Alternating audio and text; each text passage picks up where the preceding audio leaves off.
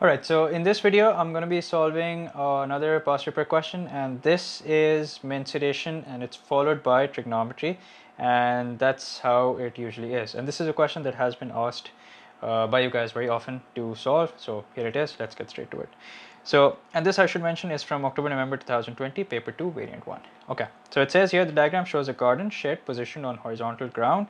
It is in the shape of a prism with trapezium ABCD as its cross section. The base of the shed ABFE is a rectangle and you're given the lengths AB 1.55, AD 2.25, BC 1.85 and BF 2.10. Okay, now let's read the question again and this time a bit more slowly and uh, I'm gonna keep on looking at the figure and I'm gonna keep on extracting the important information as I read along. So the uh, garden shows uh, the diagram shows a garden shed position on horizontal ground okay? It is it is a shape in it, it is in the shape of a prism so very important. That means whatever formula i'm going to use is going to be related to prism with trapezium abcd as its cross section. So how do you calculate volume of prism? It's it's area of cross section multiplied by length whereas length is the perpendicular distance between the two identical faces i have a video on uh, prisms you guys should check it out and here the question has been kind enough to tell you what the cross section is. It's trapezium ABCD. So ABCD that you see here, it kind of looks like a rectangle, but it's not. It's a trapezium. The question has been kind enough to tell us that.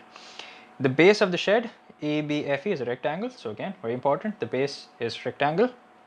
And again, you're given the lengths, which is something that we saw earlier also. And what exactly you're supposed to do? In the first part, you're supposed to calculate the volume. So let's do just that. So how do you calculate the volume of, of a prism? You do area of cross section into the length. As you guys know, this is the formula that I prefer using. Uh, a lot of, uh, uh, in, in some cases, you'll find base area times height. Now that's perfectly all right. I don't have a problem with that, but this is a bit more specific and uh, it's my, it's my personal preference. So cross section here is going to be the trapezium. So trapezium, as you guys must know, the formula for calculating the area of trapezium is half into sum of parallel lengths and I've just highlighted the parallel lengths one 2.25 and 1.85 how exactly do i know they're parallel? Because you guys can see that they have a 90 degree angle. They're both of them make a 90 degree angle with ab that means they're definitely parallel. And the height of the trapezium okay? Bear in mind the height of the trapezium is 1.55 so let's work out the area of trapezium. So half into 2.25 2.25 plus 1.85 bracket close times the height which is 1.55 times the height of the trapezium okay? And then this is multiplied by the length of the prism which is 2.10 and then let's work this out. So you have 0.5 bracket 2.25 plus 1.85 bracket close times 1.55 so I'm looking at the area of trapezium then I'm going to times this by 2.10 so this turns out to be 6.67275 okay? And then correct to three significant figures this will be 6.67 as you guys know that's a standard rule that we give non-exact answers correct to three significant figures. I posted a uh, this is also a very common question that uh, how many significant figures have we used and there's a lot of confusion regarding this also but i posted a snapshot of the email that i sent uh, to cambridge and the reply that i got so you guys can go check it out on my instagram okay so that was part a now let's do part b part b says the roof of the shed CGHD. So let's have a look at that. CGHD, all right, is painted. One liter of paint covers two square meters. Calculate the amount of paint used and you get four marks for that. Okay, so now before I can work out the area of the roof, there's something that I'd like to point out is that do not get confused. This is this is a problem that a lot of students are facing is that do not get confused that AB is although 1.55 but that by no way means that DC is also going to be 1.55 because remember this right here is a trapezium, it's not a rectangle. However, since BF is 2.55 and since this is a rectangle, that means CG will also be 2.55. So that means I know as far as the rectangle on the top of the roof is concerned, I know one length out of the two and I, the length that I know is basically 2.10. Okay, Oops, sorry about that. So this length right here is 2.10. Now that means what I need to work out is this length.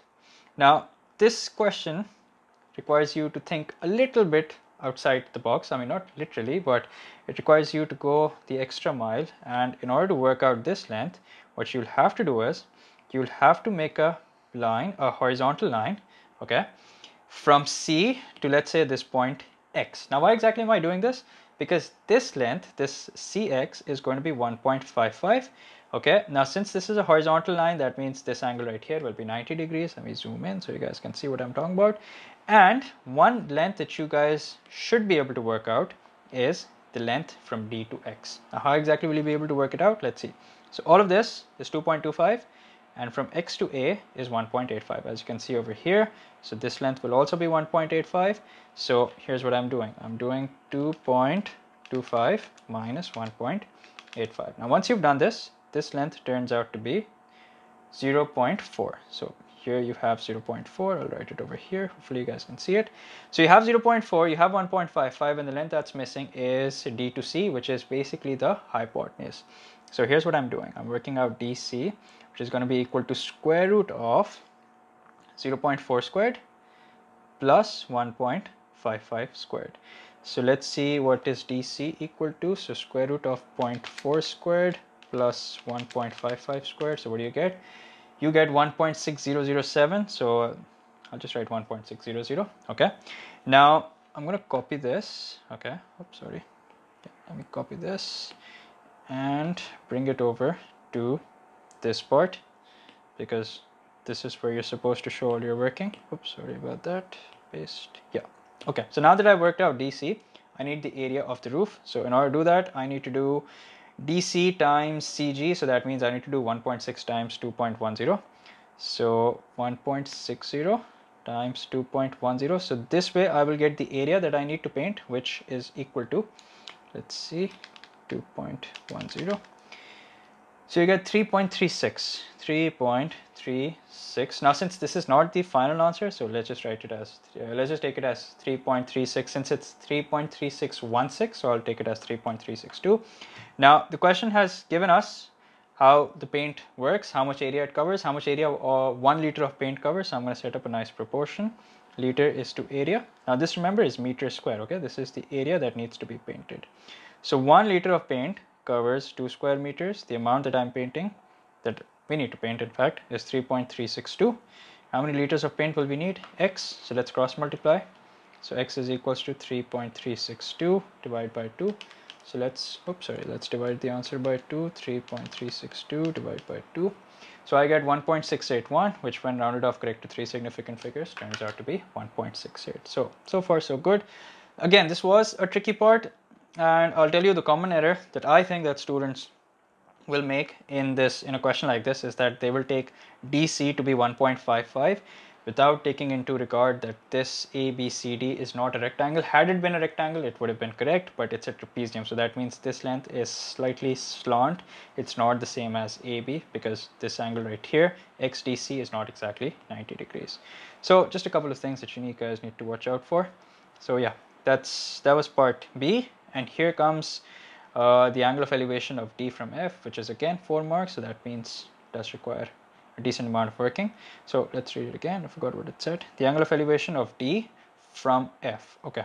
So angle of elevation of D from F. Okay. So I'm going to clear this mess that I've made and hopefully that won't be that big of a problem. So remember whenever you're working out the angle of elevation or the angle of depression, so it's best to make a 90 degree triangle. So angle of elevation of D from F means that this is the 90 degree triangle that I'm going to make okay? Now since the base is horizontal that means any line any vertical line which is then connect which is when it is connected from the base is going to be perpendicular to it. So what i mean to say is that this angle right here DAF is going to be a 90 degree angle. And the angle that you and I need to work out is basically this angle. And what are the lengths that we have? We have 2.25 and we need to work out F AF okay so let's let's do just that so what I'm going to do is I'm going to copy this in fact, let me just take a screenshot of it. I'll edit this part in the video, hopefully. Yeah, so now that we have the question in front of us, it'll be a lot easier. So this is the angle that we need to work out, and we need to work out, in fact, we have the opposite length. We need to work out the adjacent length. Do not think 1.85 is the adjacent, adjacent length. So the adjacent length will be worked out by using Pythagoras theorem. So this angle isn't going to be a 90 degree angle because again, the base is rectangle. So AF is going to be equal to square root of 1.55 squared plus 2.10 squared. So AF is equals to actually I can just write the final answer now square root of 1.55 squared plus 2.10 squared so AF turns out to be 2.6100 so 2.61 will do and so I have I now have the adjacent length. This right here is the adjacent length. I have the opposite length. So that means I'm gonna use tan. So tan of AFD is equals to opposite which is 2.25 upon the adjacent which is 2.61 sorry 2.61 yeah. My bad. So 2.25 divided by the last answer and tan inverse of the answer so AFD is equal to 40.76 okay? 40.76 but remember angles are supposed to be given correct to one decimal place. So in that case it turns out to be 40.8 degrees. So yeah that's that's all for this video. I hope you guys understood this question and uh, that's that's all. See you guys in the next one. Until then take care. Bye bye